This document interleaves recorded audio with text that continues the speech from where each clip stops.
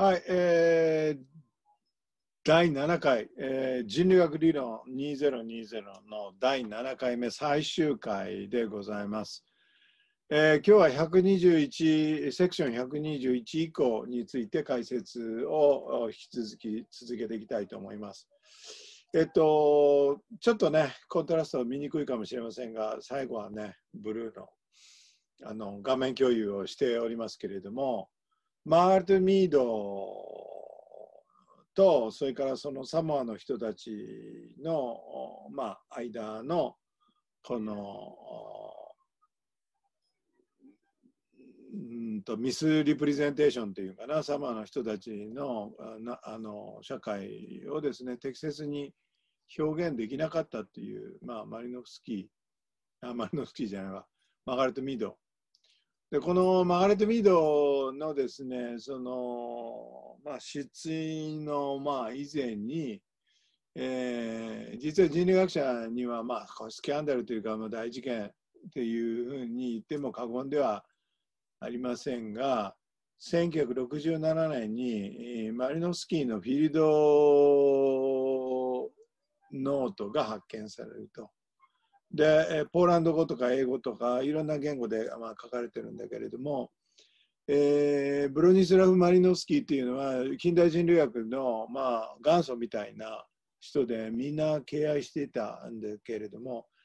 日記の中にはここに書いてあるけれどもそのまあ白人その恋人がのいるんですけれどもその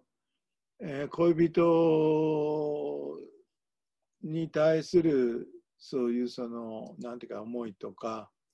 それからその性的欲望あのマスターベーションのことなんかについてもあの書いてあってそれでその自分のまあ若いね若いっていうかまあ若いですよね。えっと若い青年の悩みみたいなもんですけれどもえー、そういうものを満たすために、えーねえー、フィールドの現地の女性とセックスをしたとかそれから、えー、研究対象である、ねえー、研究対象に対しては非常にあの人類学者っていうのは非常にリスペクトしてるんだけれども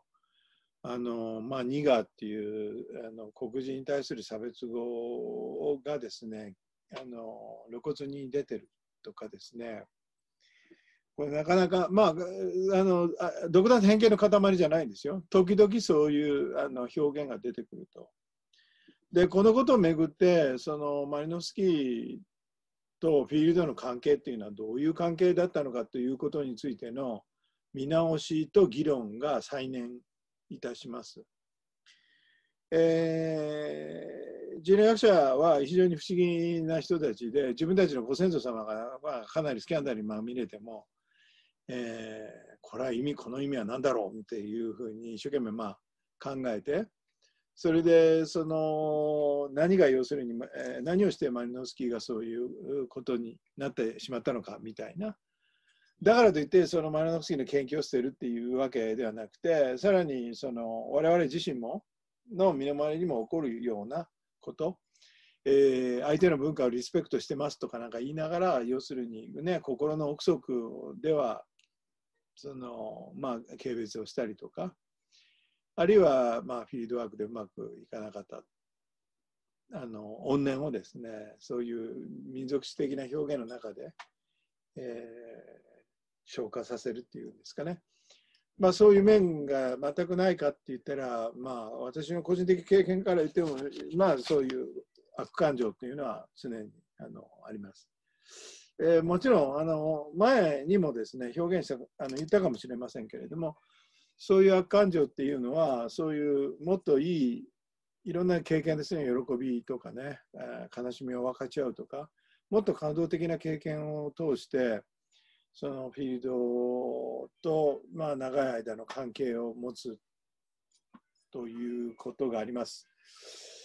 それから私たち、私たち、少なくとも私はですね、こういうそのスキャンダルっていうのを学説心理の中ですでに勉強して、それで学部生の時代か、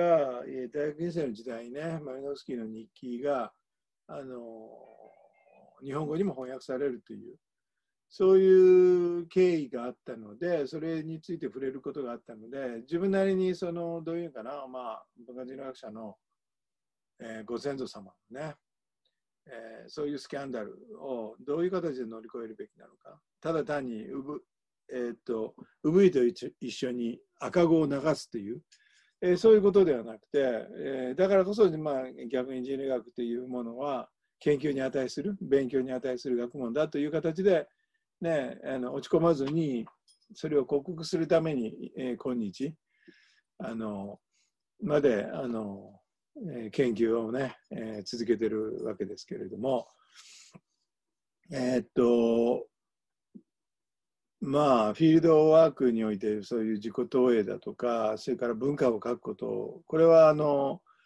ライティングカルチャーっていう1986年に出版される、あの、えー、人類学のまあ、いわゆる今日における批判理論的な始まりみたいなものがあります。まあ、日本のあの人類学者の人たちは、ライティングカルチャーについて、まあ、あまりなんか深刻に受け止めていないので、これは、えー、レトリック、えー、習字の問題であるっていう、人類学的な表現、文化を書くっていうのは習字の問題であるっていう、えー、そういうものに歪償化しましたけれども、もちろんそういう面もあるんですけれども、でも、その習字、習字を、あの、レトリックっていう人類学が、えー、文化を書くというのは、まあ、一種一種のこう文学的行為であり、レトリック行為でもあるんだけれども、なんでそういうことをするのかとか、それからそのそのそれがどういうものを生んでしまったのかということについて、えー、この論集ではあの、ねえー、意を尽くしてというわけではありませんけれども、あの詳細にまあ描いているっていうあのそういうことがあのあります。えー、というわけで、まああのね、これの評価をめぐっても日本と海外では随分まあ違いますけれども、それから、えっ、と、126、まあ、人類学における女性ということで、フェミニスえっ、と、これまでにも若干触れてきたかもしれませんが、フェミニズム、フェミニズムの影響を非常に大きく受けている部分があります。それはどうしてかといったら、えっと、多分あの日本の人文化人類学会でもそうですし、アメリカの人類学でもそうですけれどもあの女性の比率が男性よりも多いっていうそういうことがあってでところがその人類学の創始者の近代人類学のね創始者の人マリノフスキーとかクリフォード・ギアスとかもちろんマガレット・ミードっていう女性もいますけれどもあの多くの人たちは、まあ、あの男性だったんですけれどもそれがなぜこう女性にシフトしていったのかそれからまあ、やっぱり男性の目からとこう女性の目からでは随分違います。えっと、あの、1回目か2回目の時にね、えー、アクティブエージェントとしての女性って家庭の中でね、アクティブエージェントとしての女性っていう、そういう話もありましたけれども、えー、人類学における、まあ、女性、人類学者っていうのはもう鬼のようにたくさんいます。私もえー、あの例えばこのメアリー・ダグラスとかそういうことにあのメアリー・ダグラスとかですね、えー、については、えー、ある辞書の項目とかねそういうのを書いた触れ書いて触れたことがありますし、えー、まあ女性のあの人類学とかあるいはフェミニストアンソロポロジーっていうんですか？こういうものっていうのは人類学を非常にこう力強いものにしてるっていう部分があります。えー、それから人類学者の、まあ、親族中隊っていう、まあ、これあのマーガレット・ミードとグレゴリー・ベートソンはあの夫婦関係にあったんで、まあ、もちろんあのその前にはマーガレット・ミードはレオフォー、えー、っとその前はレオ・フォーチュンですか？でレオ・フォーチュンの前は、えー、なんたらクレスマンというこれはこの人はあの宣教師だったんですけれども、あ牧師かな？えー、っと3、3回結婚してるんですけれども、えー、キャサリン・ベートソンっていうあの娘があ最近亡くなったのかな、えー、私も生前お会いしたことがありますけれども、えー、キャサリン・ベートソンはあのマーガレット・ミードとグレゴリー・ベートソンの間のあのお子さんあの子供っていうかまあ娘でした。でというわけで、人類学者は、まあ、あの結構ね、長期にフィールドに入るので、夫婦であのあのフィールドに入ると、データが、ね、男性の領域、女性の領域っていうのがあるので、そのデータが取りやすいっていう、そういう現実的な面もあのあります。それから、フィールドの協力者。まあ、フィールドの協力、この場合のフィールド協力者というのはインフォーマントのことではなくて、女性のパートナーの人類学者ということですね。あここであのフェミニスト人類学についてのあのことが出てきました。このエドウィン・アーデナーっていう人が、えー、人類学そのものは男性によって支配されていると。えー、ね、それから、えーと、とあの雇用の現場でも男性の人類学者が優先的に採用されるということがあると。まあ、最近はそうではないかとは思いますけれども、えー、その植民主義批判と並んでジェンダーによる要するにその不平等とかそれからあの搾取関係であるとかそういうことを反省しその今までとは違った、えー、社会をの描き方についてかんあの考察するっていうフェミニスト人類学の挑戦というのは非常にあの重要であると思います。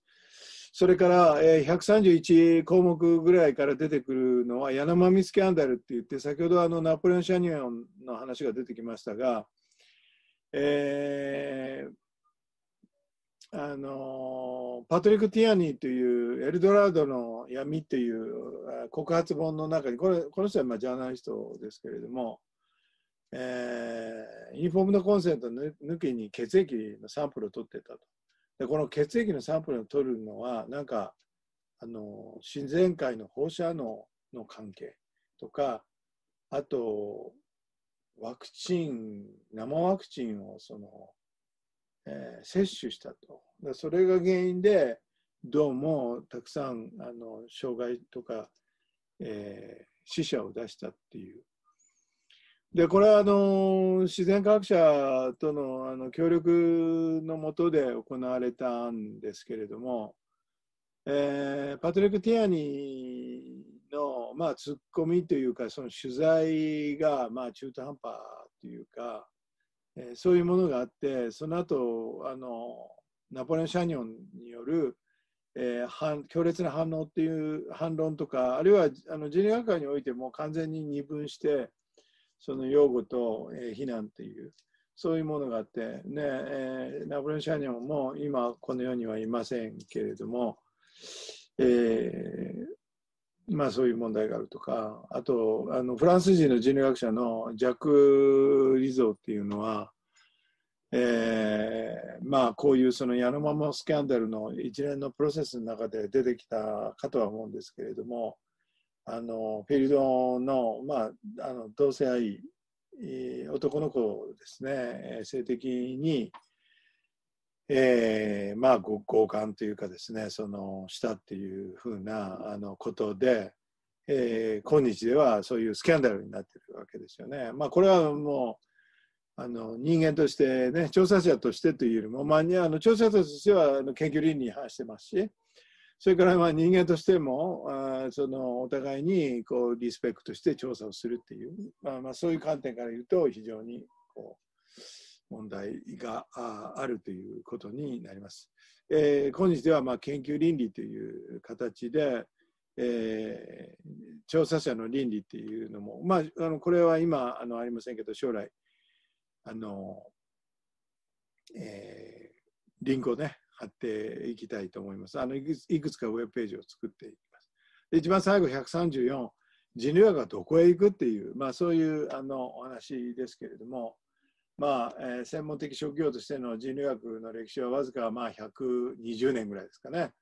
ほどにしか過ぎないと。で、えー、まあ当時袋小路、今もまあ袋小路かしら。まあいろんな、ね、人類学ね、最近はそのアントロポスインっていうんですか、えー、新しい世代、新しい時代、新しい地球環境における人類学とか、それから、えーと、反対でもあの研究されている方が多いですけれどもあの自然科学の人類学ですか、えー、近代社会のみならず自然科学者の人類学私も実験室の人類学についてあの